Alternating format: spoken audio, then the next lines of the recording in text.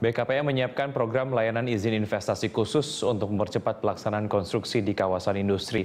Layanan izin investasi konstruksi itu memungkinkan investor untuk memulai kegiatan konstruksi tanpa terlebih dahulu memiliki perizinan pelaksanaan konstruksi.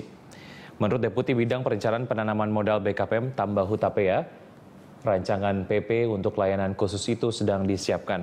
Layanan izin investasi, izin konstruksi itu hanya untuk kawasan industri tertentu dan berlaku untuk perusahaan yang memiliki izin investasi 3 jam dan perusahaan yang memiliki izin prinsip yang masih berlaku.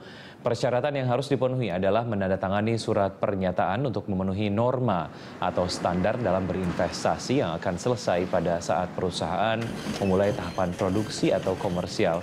Hutapia berharap layanan khusus itu didukung Pemda, tempat kawasan industri berada. dia berapapun investasinya ya kan? Memudahkan dia langsung realisasikan investasinya boleh dia langsung konstruksi. Yang kita takutkan kalau itu tidak didukung oleh Pemda atau bupati atau wali kota setempat di mana lokasi itu kawasan itu itu kan ada peraturan yang by law ya mengatakan harus ada izin lingkungan kan? Kalau tidak apa mempunyai izin lingkungan membangun itu bisa.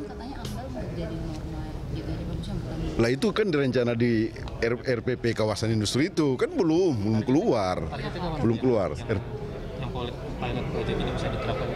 Secepatnya secepatnya. Saya apa ini lagi apa mengumpulkan informasi mengenai kawasan-kawasan industri yang